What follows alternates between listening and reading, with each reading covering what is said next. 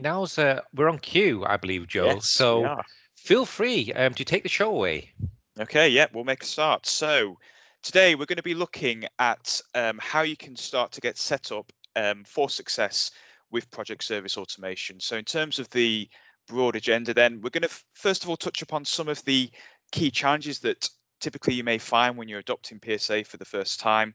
We'll look at what um, how we can sort of get around that and sort of set the scene in terms of what the objectives are for this session. We're basically just going to go through and show you all in a very sort of logical order in terms of all the things that you need to think about when setting up your PSA environment for the first time. So whether it's your invoice frequencies, your time units, product catalog, we're going to go through in, in sort of detail and discuss, okay, um, you know, what are they used for, how you set them up most importantly, uh, so hopefully by the end of the session, if you're following things through, uh, you can understand what you need to do.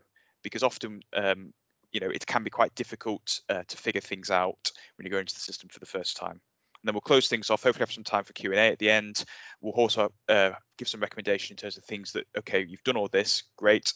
What do I need to do next to actually start using the system in a bit more detail? So yeah, we touched upon this already. So uh, I've um, run a small um, Microsoft Gold Partner um, consultancy practice based in the UK. Um, as you can see, I've got way too many uh, shiny badges there. Um, they're quite nice to collect actually, so I think that probably makes up for it. Um, so in terms of my background and experience, I've been working with um, Dynamics CRM and 365 uh, for about five years. Um, so previously, my background is probably more on the technical side of things. So working with uh, things such as SQL, SQL Server, C Sharp, Office 365. Uh, as I mentioned already, doing a lot with Azure these days, and you know, and things across the whole Power Platform. Um, you know, so keeping um, it's it's an interesting time to be working with these tools. Uh, there's a lot there's a lot to learn, a lot to get stuck in, which is really great.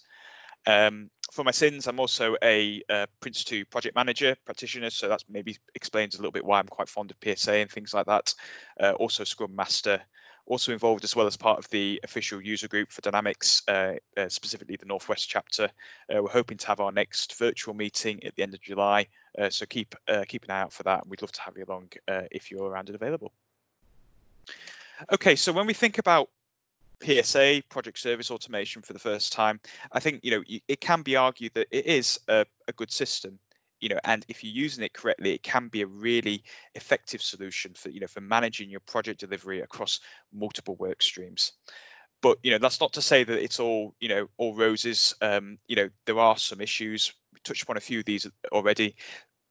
Certainly my experience when it comes to the documentation side of the system uh, it's generally quite um, inconsistent. So you have pointers to older versions of the um, you know of the product version 2 which isn't basically correct with what's actually now happening in version 3 um, we've touched upon in terms of the development roadmap you know argue you could potentially you know arguing on the other side of it okay well why do you want to invest in psa at the moment if things are going to be changing? Uh, as we've discussed already you know there is going to be a roadmap to get you moved across the new version. So you know why not? You know if microsoft going to help you in that journey then you know potentially any concerns around where PSA is going as a product, you know, can potentially just be discarded. You know, and also as well with Project for the Web as well, you know, so um, there's been some sessions already today, I believe, on Project for the Web.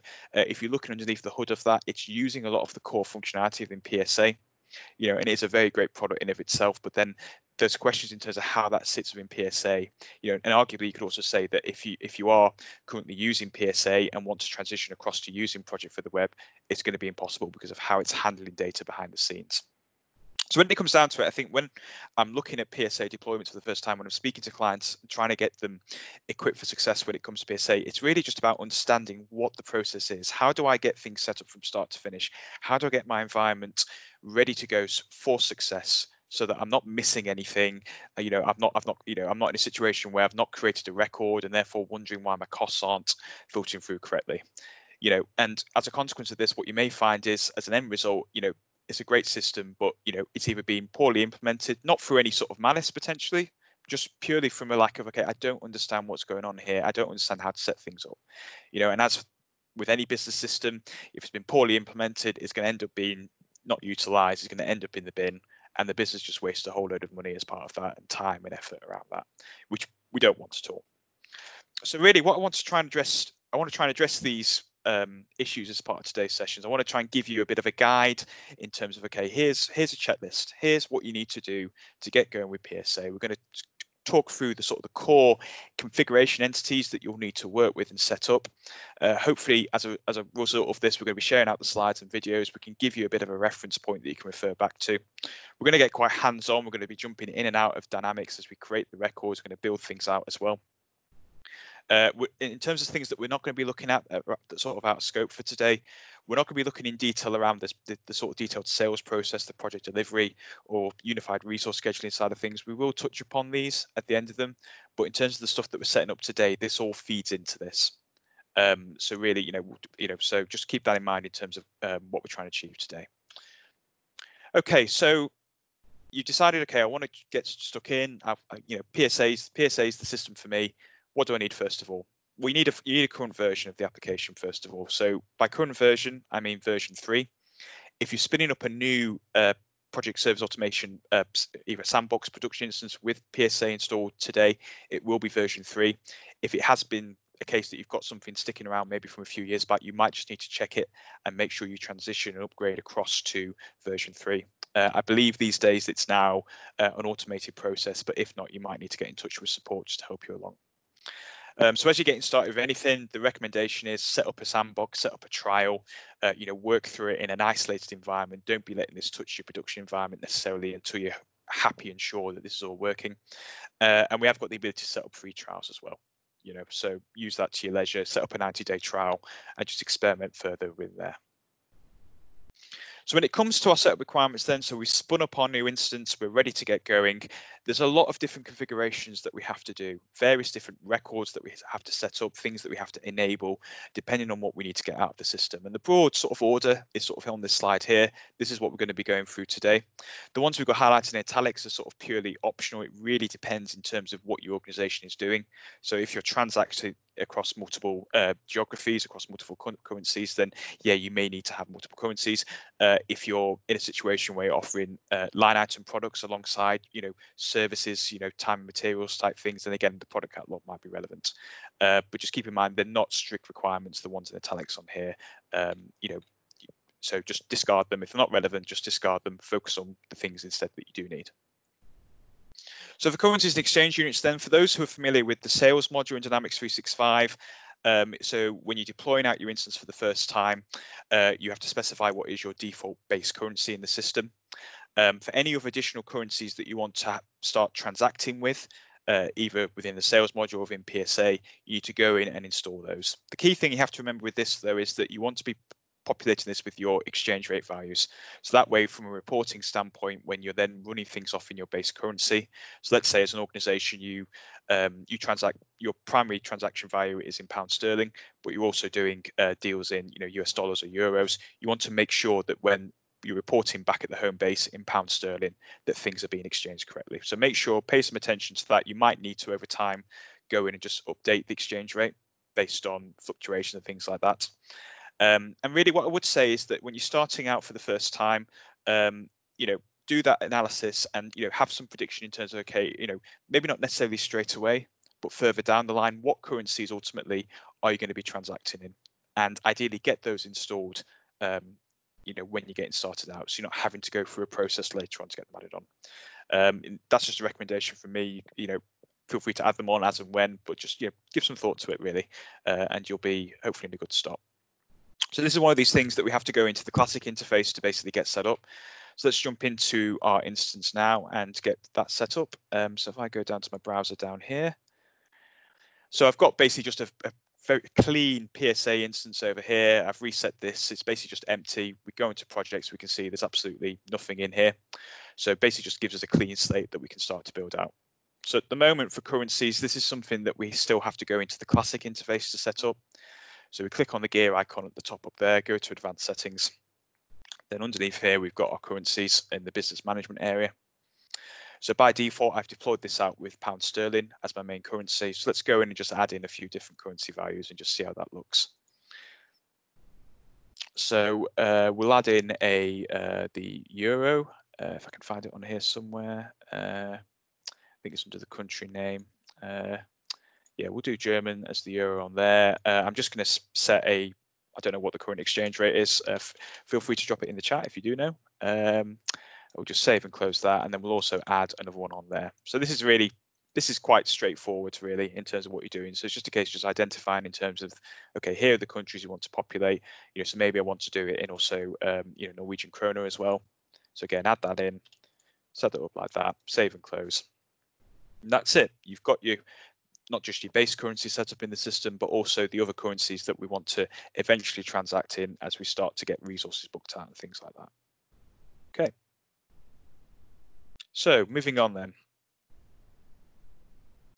invoice frequency. So when it comes to generating your uh, invoice documents within Project Service Automation, um, now I think the thing to just to mention with invoices more generally in PSA, they're not really sort of designed and built, um, you know, to basically spit out invoices that you can then just print off or email out to your customers. Um, you know, really um, you should be using your sort of you know accounting system of choice. So whether it's business central f&o or maybe something else like sage to do that. So you know so the purposes of invoice documents within psa is just to give you just a pointer in terms of okay here's here's what you need to put. Here's the value that you need to then put on your you know f&o invoice um, so just keep that in mind they're not really designed to be able to just spit out things that you just hand across to the customers uh, but what we can do in psa is that you can actually define how and when invoice documents are spit out using invoice frequencies. You know, so typically, if you, as an organisation, um, you know, most accounts department accounts teams or departments will have their own processes in terms of when they want to raise invoices. Some will be, you know, at you know in the afternoon every Thursday they'll raise it. Others might be a little bit more fluid. It might be that you want to have it every week or you know at the end of every month, let's say what you can do in PSA is specify these frequencies, and then that will then dictate how the invoices get generated out automatically. So, you know, really nice, a helpful feature just to get things automated to help us along, which is really great. So to do that, what we would do, is we set up within the settings area of the application our invoice frequencies, uh, and we've got a few options there that we can specify as part of that. So uh, in this example on here on the screenshot, we can see we want to have it monthly. So uh, one day per month, we want to run that. Uh, and in this particular case, we said, okay, the first calendar day of the month is when we want to generate an invoice each month. Uh, as an as a, an alternative option, what you could also do instead is you could have it so that let's say on the first Friday of every week instead, or the second Friday, or yeah, first Friday, the name's wrong on there. Um, first Friday every month, I want to spit out an invoice instead. And again, you've got some more options there, first, second, third, fourth, depending on what you need to do. So let's get that set up now in our PSA environment, see how it looks. So get rid of classic for now. We don't really want to be using that as, as much if we can avoid it. We're going to go down into settings, click on invoice frequencies. We don't get any any default invoice frequencies provided for us in PSA. It's something that we have to actively go in and set up. So let's just get that done now. So for this one, then we're going to do something. Let's do something a little bit um, strange and freaky. Why not? So we'll do a bi-weekly uh, invoicing frequency for this. We'll just give it a name value, specify our period, save that in there. And at this point, um, it's you can then go into, so this subgrid on here is enabled after you save the record. And through here, you can either customize the default record that's created for you by double clicking into it. Um, so I could sort of say, okay, I want to have it so it's maybe the second Wednesday of each month instead. Save and close that. So that's all fine.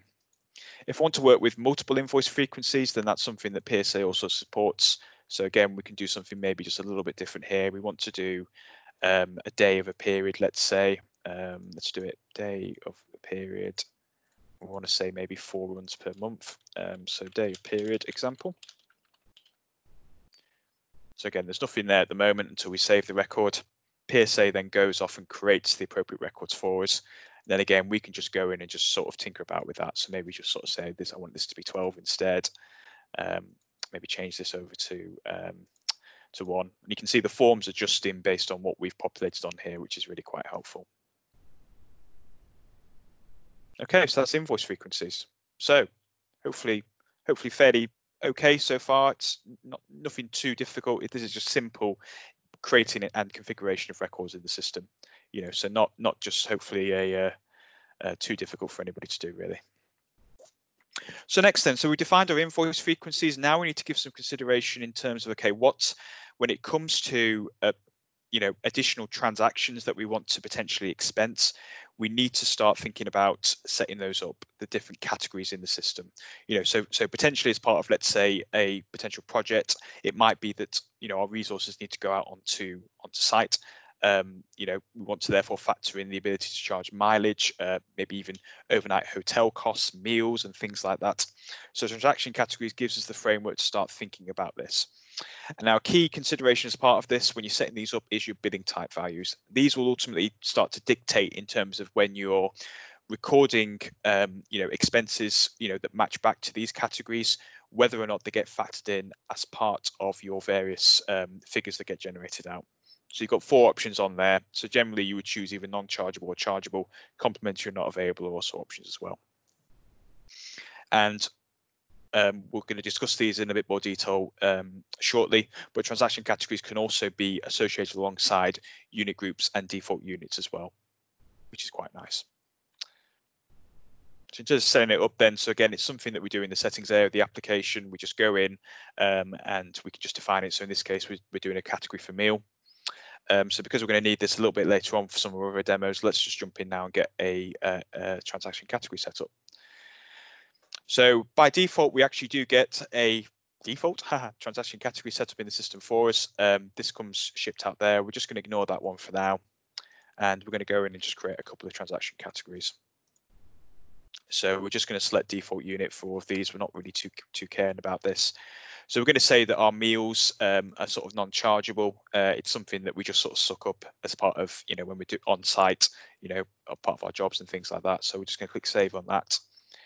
Um, whereas travel, for example, okay, well maybe that, that is something that yeah, I definitely want to be invoicing. You know, if we're having to travel, you know, 100 miles across the country to visit the customer, then yeah, there needs to be some sort of um, charge relating to that. So again, we're just going to uh, select chargeable on that, and that that will then feed through later on as we're setting things up. Okay, so that's transaction categories then. So far, so good. So so with our transaction categories then created, we need to start thinking about our expense categories. Um, so these are what effectively people will start to select in the system when they're recording their expense values for the first time. As we mentioned already, you need to make sure you've associated these to an existing transaction category in the system, which is why we set those up first. Um, as part of this, you can also dictate whether or not a receipt is required when the individual is submitting the expense. Um, I would have thought in most situations, uh, most companies I've worked with, I've never worked in a company where they've not asked for expenses for, for receipts as part of expenses. Uh, if you have worked in a company that hasn't asked for that, please do respond in the chat because I would generally want to join that company because I think you'd be able to get away with murder quite clearly. Um, so yeah, so generally just always just enable that because you know it's going to be it's going to always be required. And then also um, what Microsoft do actually advise is when you for a new deployment, um, they recommend that you set up the following expense categories as default. This is just a guide, really. Again, just cater it to what you need in the system. You don't necessarily have to record that, but again, that, I thought I just mentioned that specific recommendation around that. So again, expense categories is in our settings area of the application. Again, just another record that we create. We can just go into the system now and get that created. So jump down to expense categories down here. So in this example, I'm just going to create an expense category that very generically refers back to the transaction category sort of uh, on a one-to-one basis. Typically, you might want to make the transaction categories a bit more generic at the top level, uh, but for the purpose of the demo for time today, we're just going to keep them fairly generic. Um, so because I've actually um, set meals as a non-chargeable transaction category, it's not something I can actually select on here because why would you want to expense something which you know can't be then invoiced back to the customer potentially. Just keep that in mind when you're setting up your transaction categories. For then for you to then have an appropriate expense category related to that, you need to make sure you you check that field on there. So for now, we're just going to do travel on this. Um, we're going to uh, link this back to one of the ones on here. So I'll just sort of say mileage is this one. And then again, we're going to say mandatory on there. Um, so in fact, we'll call this one mileage instead, just to keep it fairly uh, aligned to that. And just for the purposes of this, we'll, we'll create an additional one without our uh, receipt required. So we'll just call this a car rental and link this back to our travel category again. Save and close. Okay, so we've got some expense categories ready to go in PSA. All good. So moving on then. So time units. So when it comes to um, booking resources out on your projects, um, you have to specify as part of that in terms of okay, you know, what how are they working in terms of their um, number of hours? Is it is it are they working you know based on number of hours? Is it based on the day or things like that? Um, so by default, when you set up PSA for the first time, it goes into the system and it creates some default time unit categories for both hours and days. Um, what you can look at doing. So maybe you're in a situation, let's say, where you, you, you're doing work based on, let's say, half days, quarter days. Uh, you're doing it in maybe blocks of multiple days, for example. What you can go in and do is add on additional time units to suit your requirements. And this is just a case just creating the appropriate records underneath the uh, the unit groups that ship by default um, in the application. So we're going to jump through this now. I'll just skip through these slides fairly quickly because we'll jump into the system now. But this is, again, something that you have to go into the classic interface to set up.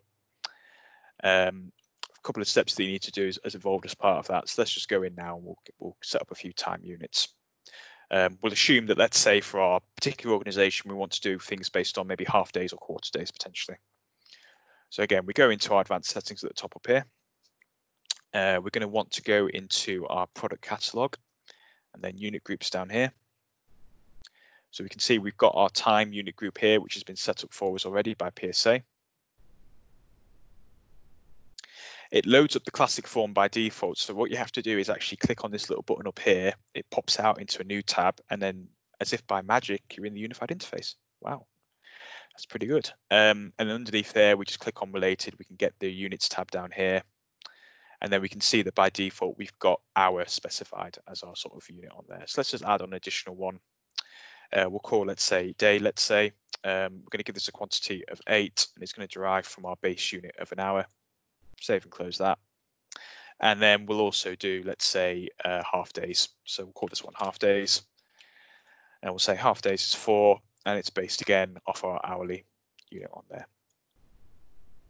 So again, this might be something, again, it depends on how your organization is booking people out, uh, but just give some consideration in terms of um, in terms of how you do that and make sure that you've got your time time units um, you know mirrored accordingly for that. Okay. So this is the one of the optional features when it comes to PSA. So um, if you've spent any amount of time working with the sales module, you'll be familiar with how the product catalog works. You know, so when you're generating your opportunity and your quote lines, you can add on your various products that you want to sell. The application goes off, calculates that out for you, does all that good stuff for you. So the great thing about PSA is that we can actually use that. We can actually use not only resource pricing, but also uh, fully incorporate our product catalog as well as part of our um, as part of our system. So a really good ex example and use case of this, you know, so so in our case, you know, we're we're a Microsoft partner, um, you know, so we do consultancy, we do services, um, you know, day rate stuff as well, uh, but we also sell licenses. You know, we're CSP, we resell licenses from Microsoft. So therefore, having a product catalog. Um, you know that has all the various licenses that we wish to sell uh, is going to be quite useful. So by adding that onto it, we can not only um, when we're generating our um, you know, opportunities and quotes, we can mix and match that. Uh, it is an optional requirement though, so only really use it uh, if you need it and it's going to be useful for you. Um, and in terms of as a discussion in of itself, it's probably outside the scope of today's session. So instead, I'm going to rely on this um, this I think this diagram's been around for about maybe 10, 15 years. I think uh, it's still absolutely relevant in terms of describing what the process is for setting up the product catalog. Um, so this, you know, follow this through. If you are, if it's something that you want to do, this will help get things set up for you, and then you can sort of go through from there. Okay, so now we can actually start getting into the sort of the arguably the sort of the, the central component, the cornerstone of PSA, our our resources, our you know our individuals, our pieces of equipment, our external organisations, whoever it or whoever or whatever it may be, the things that help deliver our projects. Now it's not just a case of just going in and just import, you know, necessarily importing a list of, you know, you know, of John, Mary, uh, you know, Jonas or whoever into the system, and then boom, you're ready to go. There are actually a few different steps involved uh, to get things set up. So we're actually going to we're going to go through now. The order is sort of defined here on the slide, uh, but let's go through and see what we need to do to get all of the appropriate scaffolding set up for our resources. So characteristics then. So this, in a nutshell, is just you know either your skills or your certifications you know so for example so for myself you know you could say that maybe you know i've got a skill as c sharp as beginner yeah, I'm a poser coder, so yeah, I'll. Um, so I'd, I'd have that as my skill. Whereas for certification, um, you know, so for example, MB600, MB400, I could have those on as, as well. Um, as part of that, you can provide a description. Certification could also be, let's say, a degree or professional accreditation, whatever it may be. And again, you just define as many of these as you need, um, you know, for your potential resources that you're booking out. So in this, for, for this particular regard, we actually go into resources rather counterintuitively. We have to click onto skills as opposed to characteristics. There is a little bit like this at the moment where some of the terms don't quite map up. So just, just keep your eye out for that. So go into skills, create that, and then boom, you're away on that. Next of all, we have our rating model. So this is perhaps more relevant for skills as opposed to certifications. So this is where you sort of define on a sort of on a range basis in terms of how proficient a you know particular skill or multiple skills are in the application. So for example, as I said already, you know, in my case, C sharp could be beginner, could be intermediate, could be expert, could be, you know, God tier, you know, what, whatever you whatever you think is most uh, relevant for your particular organization. So the key thing to remember with your rating models is that you can only have one of these records that have a value of skill in the application. So effectively just one rating model across your skills. Just keep that in mind. And then when you're setting up your skill for the first time, um, so your rating model for the first time, uh, you then have to go in and give a few additional details, such as the name, and also define whether it's the default one to use across the organization or not. Now, for rating models, you could also use them alongside your certifications as well. So a good example could be for a degree, if you've got, let's say, pass merit distinction, uh, but generally you'd want to use them more for skills. Oh, could you just mute your mic, please? Yeah, that's good. Um, okay, so again, rating models, we go in, again, the terminology is a little bit sort of uh, not aligned. So it's actually proficiency models you go into. Then from there, you define, set up your minimum, maximum rating values, and then go in there and then uh, you know, populate the display label for that underneath that. So in this case, we've got, let's say, three values um, of familiar, good, proficient, with good being the default one that we want to use for this. So next, then we think we need to give some consideration to our bookable resource categories. So these are these are roles effectively. These are the job roles or the uh, the project roles that we want to use. So whether it's project manager, whether it's software developer, whether it's um, you know engineer, you know, regardless of what it is, you know, there's going to be potentially many different roles that you want to have people booked out for within the application. So billing type makes a reappearance on this. So again, you can define whether or not a resource booked out in a project is something that you ultimately charge into the customer or sort of including as part of your costings. And then when you're setting them up, you need to give some consideration as well in terms of um, your, you know, how, what your sort of target utilization value is for that resource because uh, that has some knock-on effects in terms of when you're then looking at the resource calendar, looking at your resource utilization, um, you know, what, you know, red, amber, green category applies to it. So, you know, the, the details there listed on the slide. I think generally, you know, for most people, you don't want to be setting it 100% all the time. You want to be hopefully giving people some time, breathing time for training or for other BAU type stuff. But again, you can just adjust that. And again, once it's set up, it will flow through into the application and adjust how things look later on down the line.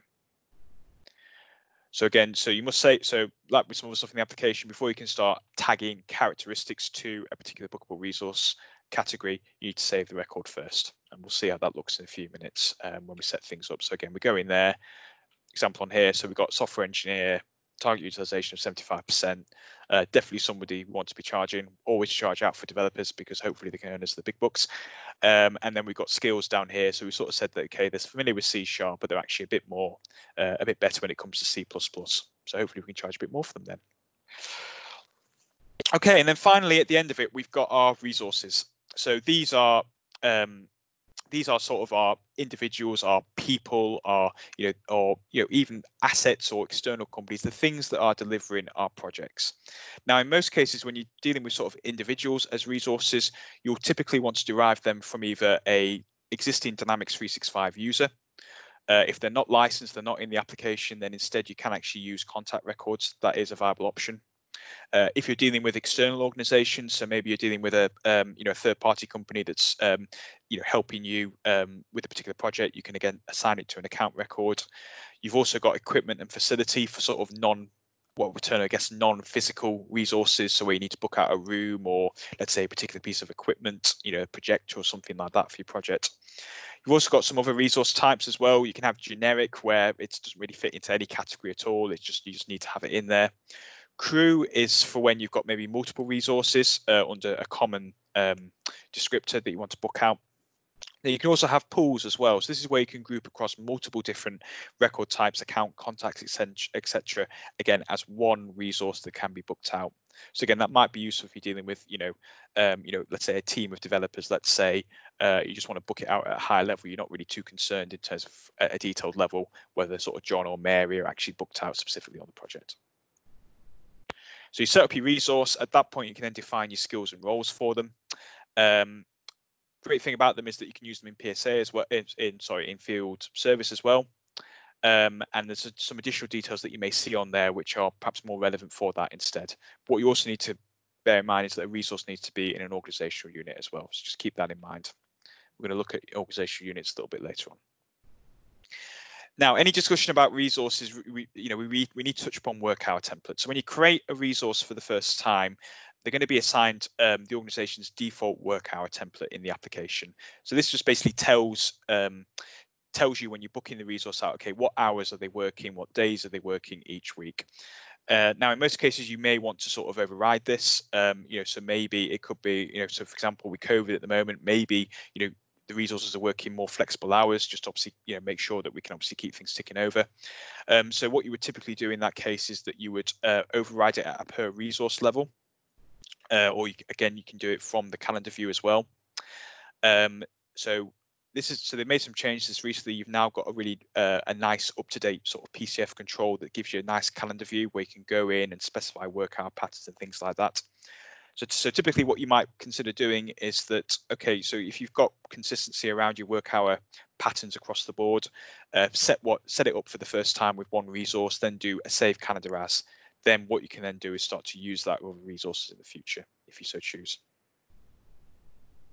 So again, how, in terms of the resource setting up process, so in this case, we're setting up our good old uh, Alan Steiner test user uh, within there. Uh, we've said that he's got these particular skills on here. We've overridden the target utilization for him at the resource role level. So we're saying here that again, it's 70% that we want to apply on here. And we said that he is a robotics engineer. We could add on additional roles as well. So don't be thinking that, okay, you can just have one role for one person. You know, a role can have many, uh, yeah, per, uh, individual can have many roles tagged to them. And really, you know, as if you're doing software delivery, agile delivery, then yeah, typically that that it would be a preference for you to have. You want to be having you know multiple skills, multiple role teams uh, to help deliver your projects and get the most value out.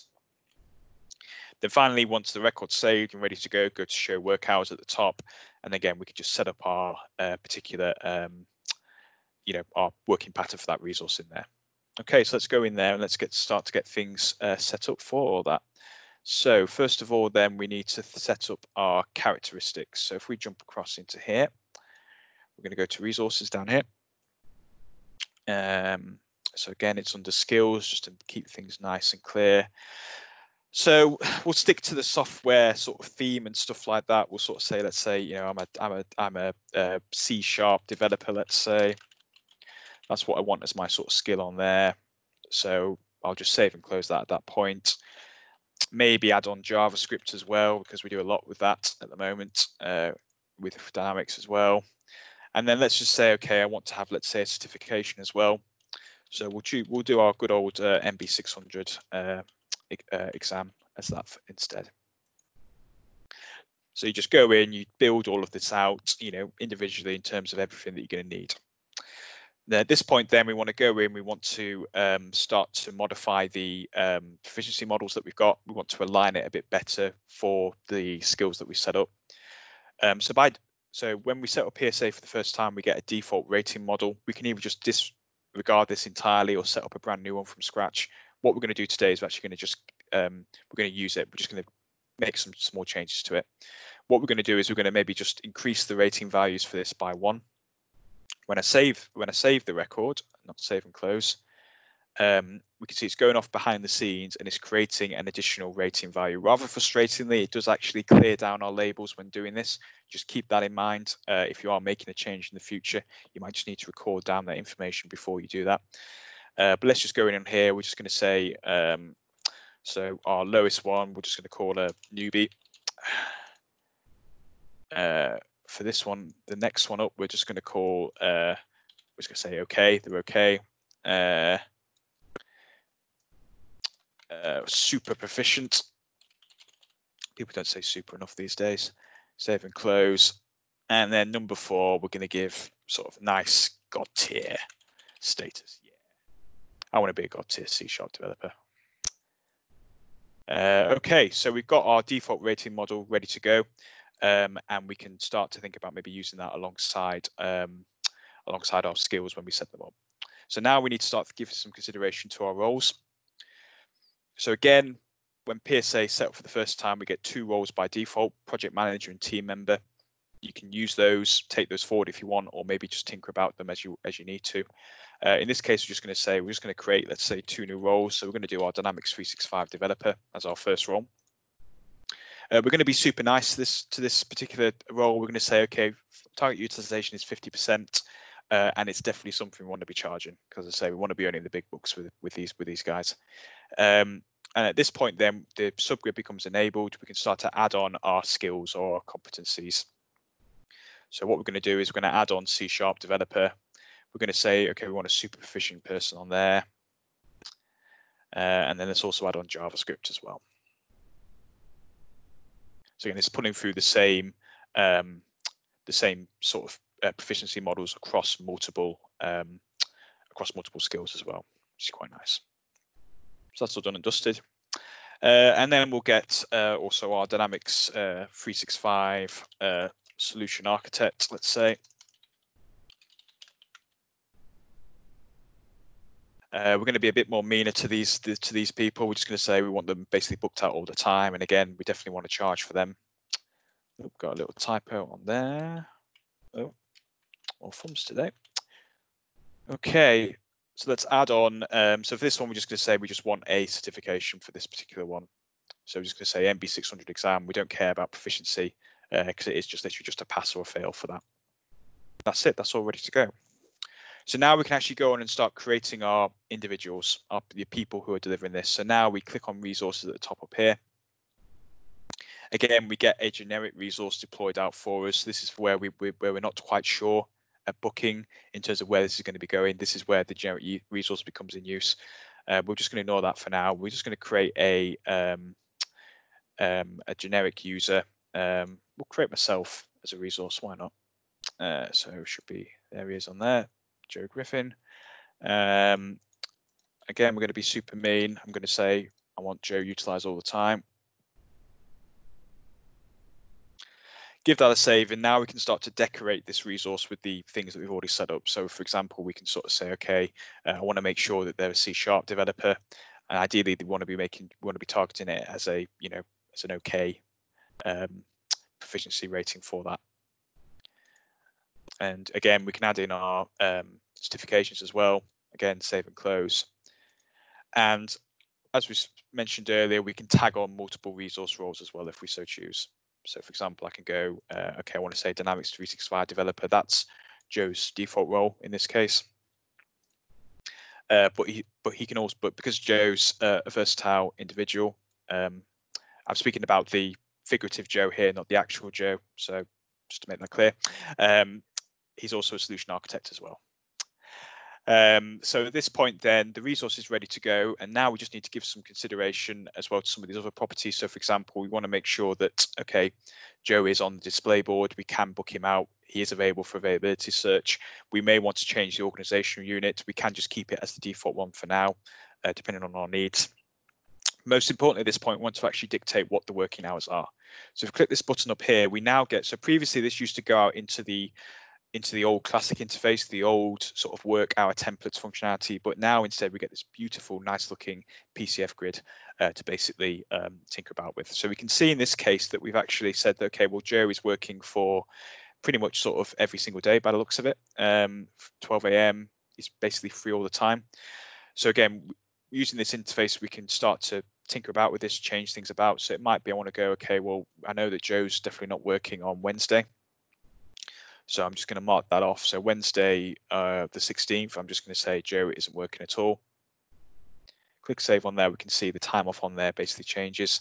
Uh, I want to change, let's say, a particular um, working pattern on one day. So I want to say that maybe, okay, on today, um, you know, Joe's only work, Joe's basically doing a half day.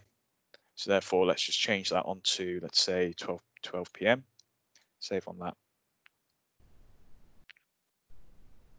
So it takes a few minutes just to update. Yeah, it's that one there, it's updated. So typically the, the best thing to do with this is that there will be some commonality when it comes to working patterns across your, your resources.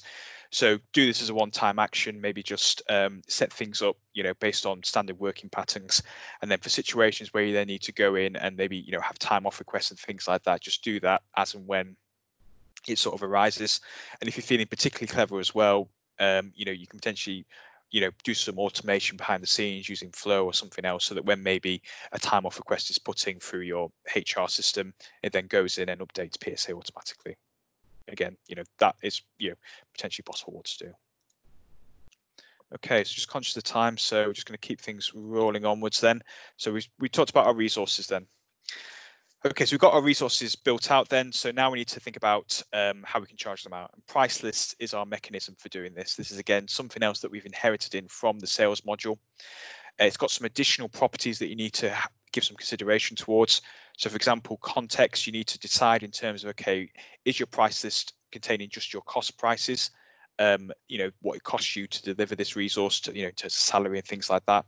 Is it, you know, your sales price list, what you're going to be charging your customers? There's a whole load of additional things around in terms of okay, um, markups, expense categories, territory relationships, things like that.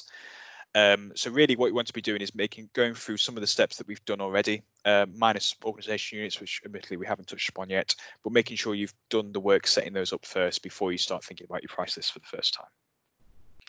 So as an example on here, cost price list. Um, some, some of this should look fairly familiar if you've been working with the sales module for any length of time. Um, so we've just gone on here, we defined a couple of role prices for this um, and some category prices as well for our various transactions and things like that. Again, let's jump in quickly back into PSA now and we'll just build out a very simple cost price list. So we go into sales, sales over here. Uh, navigate down to our price list at the top up here and click on new. I'm going to call this our cost price list. So we'll call this uh, 2020 to 2021 uh, cost price list. Uh, we want to affect it from June going up to June 2021. These two settings here are really important. Um, if you have once you've saved the record, you can't change this. So make sure you make the right choice here. Uh, because we're dealing in pound sterling anyway by standard, we're just going to leave that as default. But at this point, I can save the record. You can see those fields a lot now. And now we can go in and start adding in the role prices for the for the roles that we've defined already. So for example, for our Dynamics 365 developer, I can say, okay, um, for this for this role in this organization unit, uh, I want to be charging, let's say, uh, I don't know, 85 pounds an hour for this particular one based on this unit. So save and close that. Uh, do again for the second role. So again, we want to maybe just charge this up a little bit higher. Uh, solution architects always bring in the big books, I think. So therefore, 100 pounds. So again, just go through each resource, just define that manually for each one you need. Um, role price markups are useful for when you want to maybe um, you know automate the ability to be able to do you know percentage or fixed amount markups on the prices you already defined on here. It's not something we're going to get time to cover as part of today's session. Uh, I have blogged about this previously, um, so uh, um, how you can get this working. So feel free to check that out. And if you've got any questions on that, just let me know after the session. But what we are going to do here is just set up a couple of transaction categories for our expenses. So we're going to do travel in this case and we're just going to do for this one a price per unit. So we're just going to we're just going to say assume this is let's say mileage per mile. So we're just going to say let's say 0.75 per mile. Let's say we want to charge for that. Okay, so that's pretty much it for price list then. So let's steam on ahead. So next then, organisation units. So we touched upon this already um, a few different times. Um, sort of left it towards the end. Uh, you, you may it may be you want to bring it forward and set it up a bit more earlier, particularly if you if you want to avoid having to go into resources and updates. And it really just depends in terms of how you want to model things. So the key thing to say with this is that these are not the same as business units. They're separate, completely separate. They work in a similar kind of basis in terms of defining distinct subsets of your organization where resources can basically existing. Um, so, for example, you could have, let's say, UK division, a France division, a uh, you know North America division, etc. Uh, but they're not the same. They don't enforce security, and they're not hierarchical in nature. Uh, but what they allow you to do is to basically have different um, price lists, different sales price lists, cost price lists, um, you know, across the organization, across different geographies potentially. Um, the key thing to remember though with resources is that you can only tag a resource into one organizational unit. Okay, um, so don't be thinking that you can, you know, basically have cross-divisional stuff. In that situation, you'd have to set up a brand new resource. So maybe have a duplicate. So, if, if for example, for me, if I wanted to be in the US one in a re, in a US North America organizational unit, I'd have to be set up as a second resource potentially. Just keep that in mind with that. They may or may not be relevant for what you need in PSA. Typically, um, you can probably just get away with the one if it's a fairly small deployment. It really just depends in terms of what your preference is, how you want to be building stuff out. This is something that you set up in the uh, settings area of the application, uh, which we'll go in and see in a few minutes. So in this case, we've got one here, which has got our default currency of US dollars and the price that's associated with it. Then finally, the thing that you want to be reviewing is your project parameter records. So again, this is another thing that gets shipped out by default when you set up PSA for the first time. It's just a record in the system that defines lots of different settings. So for example, you know, what is the default organizational unit to uh, to use when you're creating new records? Um, you know, what type of resource allocation do you want to be using in terms of either central or hybrid when you're booking resources out? Do you want to be using multi-currency pricing? Do you want to be working with custom amount and markup based pricing dimensions. So where you're bringing in fields from other entities to factor them in as part of your PSA calculations. There's a whole host of things on here that you customize. So having a look at this record and just uh, doing a bit more of a deep analysis in terms of what each one is doing is going to certainly help you along. So again, it's access from the settings there of the application. Um, and what we'll do now is we'll just jump in and just have a very brief look in terms of what some of those settings are. So go to settings down here um, organization units we can see is accessible down here. We can do new and just create it forward if we need to. Um, you're definitely going to want to change that name when you set things up for the first time. Um, it seems to be some sort of date time value with, I don't know what else on it. Answer on a postcard if you can decipher that. So let's just ignore that for now. We're going to jump into our project parameter record. So there's only one of these in the system. You can't create an, an additional one if you, you know, so just always make sure you're working in this. And we can see on here, there's things that we can populate. So for example, the voice frequency we set up earlier, we can define what our default one is on there. We can enable multi-currency cost pricing. We get a warning in the system when we're doing that. So just make sure you understand the implications of enabling that setting. We're just going to click cancel on that for now. We can change our resource allocation mode if we want to, our default work hour template. So if we have gone in and changed things or set up a brand new work hour template, this is where we would do it. Uh, I'm going to save the record at this point. And then through here as well, we then tag on the price lists that are available across the organization. So the one that we set up earlier, our 2020, 2021 cost price list, again, we can tag that onto there. And then here is where you look at the amount-based pricing dimensions, markup-based pricing dimensions. Again, it's quite a detailed topic that you have to actually go in and do entity customizations to a certain extent to get that enabled. Um, so not something that we're going to be able to cover as part of today's session. Um, again, it's something I have blogged about in terms of how you can get working with it. So for example, how you can work with discount markup percentages and things like that, or resource level markups and things like that. This is basically where you would do it, but we're not going to get a chance to cover it today, unfortunately. Okay, right, so quite keen to get to questions. So let's just uh, round up then.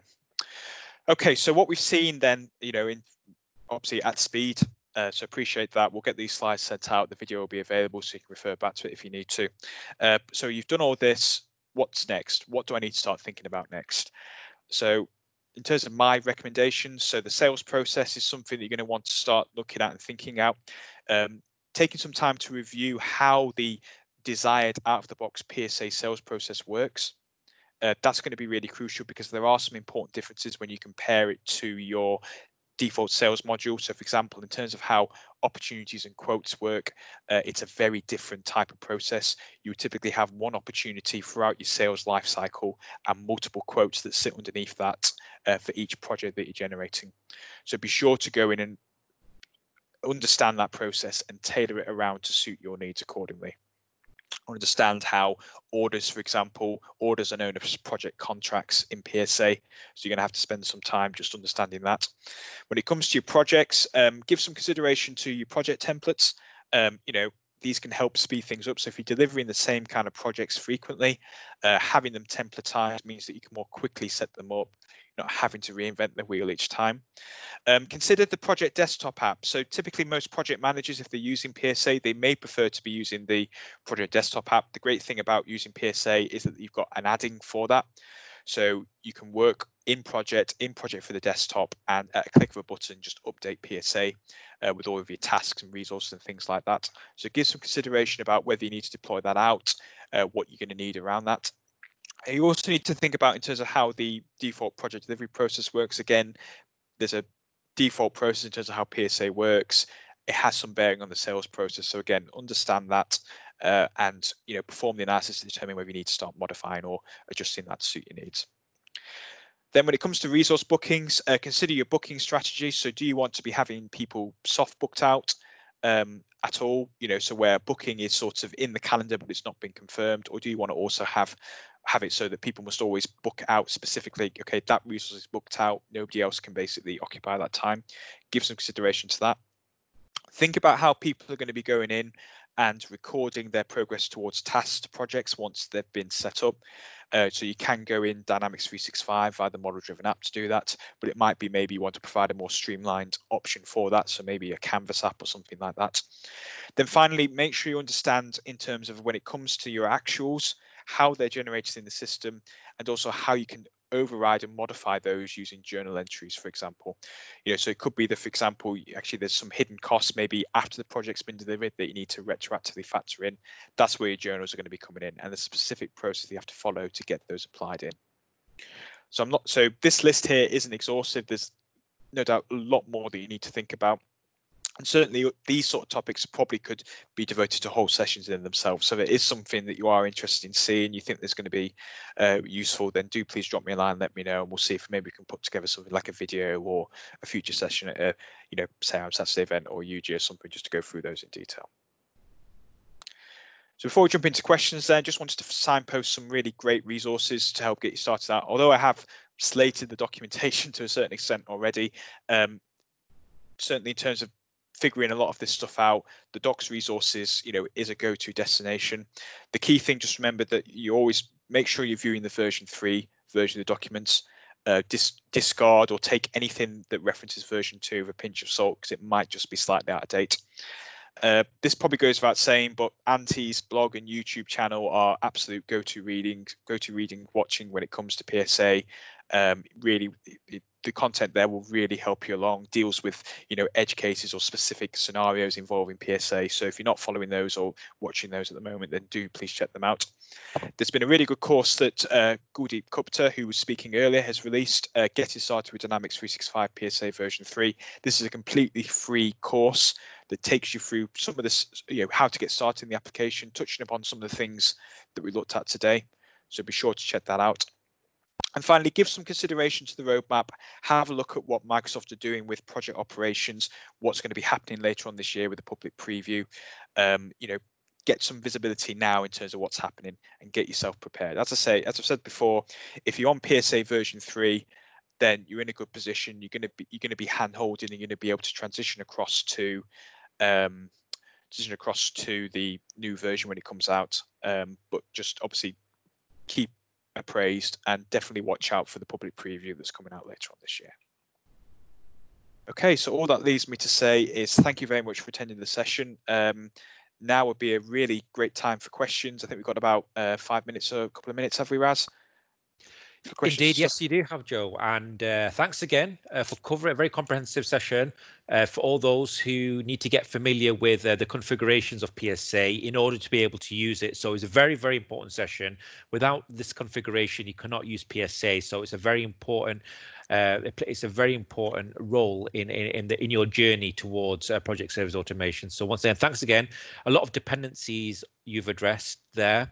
Um, and you also, interestingly enough, you actually showed implement them step by step rather than configuring everything all in one go. You actually um, configured a little bit and then and then showed it working and moved on to the next. So that that was quite good to see.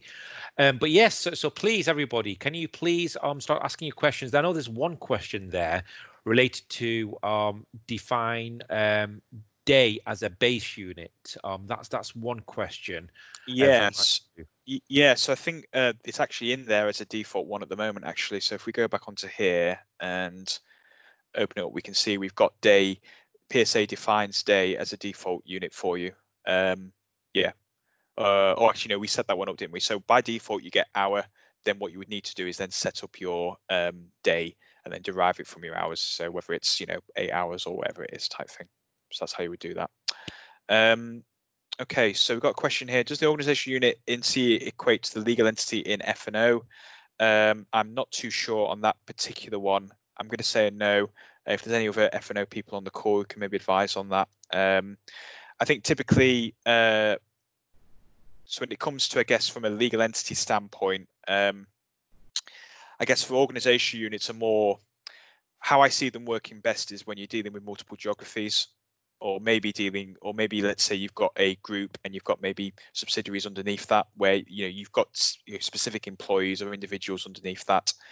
Um, so in which case it's probably useful for you to then look at it when you when you're dealing in those circumstances. In most other cases having just the one organizational unit you know so if you're a you know like a 50 to 100 person organization delivering just work in the uk with uk based resources then just a single organization unit is probably going to suit your needs i think hope that's uh, hope that's helped um, answer the question. Yep, um, and in fact, uh, the man to answer that question is actually next up. So uh, ah, please uh, stay in line, uh, Mansour. Um, stay online. In the next four minutes, uh, the man himself, Scott LaFant, will be able to help address that challenge. There is one more question here. Um, it's by um, MLO, which is uh, can you walk through the settings, setting up the non chargeable transaction type? Can it be applied to certain tasks? Um, can it be applied to certain tasks in the project? It would be non chargeable transaction types would be applied based on either the resource or the expense category. So typically, what you would so in terms of setup, uh, we'll just quickly just show you that again. Um, so we just go into our transaction category up here. Um, so this is for your expense items. This is where you would define that. So you just go non-chargeable up there. Uh, if you're dealing wanting to have resources as non-chargeable, uh, so again, you would go into your um, your roles, let's say. So for example, go back into Dynamics 365 developer, and again, it's billing type on there that dictates that. So when it comes to uh, applying it at task level, um, how you would go about doing that is making sure you're aligning your tasks to a non-chargeable resource.